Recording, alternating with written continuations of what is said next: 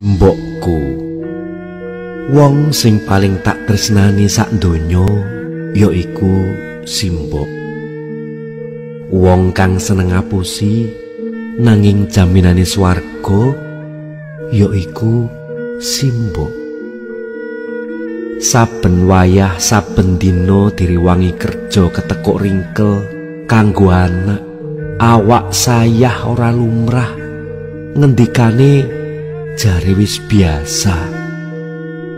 Yen ana rejeki olah-olah nyisih kilawuh kanggo anak. Bareng anak mulih simbok ngendika wis kek ndang maem. Kae lo enek lawu iwak. Simbok ora pati seneng iwak.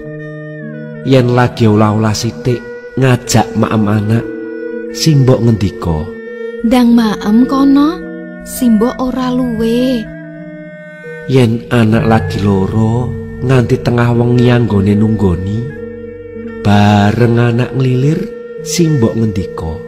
Ayo ndang pupuk maneh bintang sehat. Simbok durung ngantuk oh.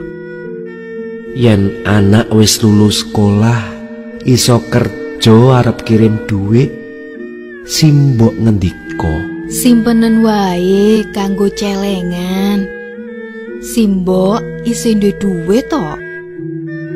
Simbok ngapusi lelakon uripe. Simbok nganggep anak kaya bocah cilik terus. Simbok tansah sumelang, tansah mikir kahanan anake. Simbok ora mikir sepiro sugi anak.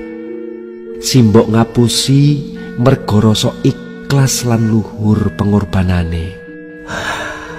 Mat Tur suwun Simpo.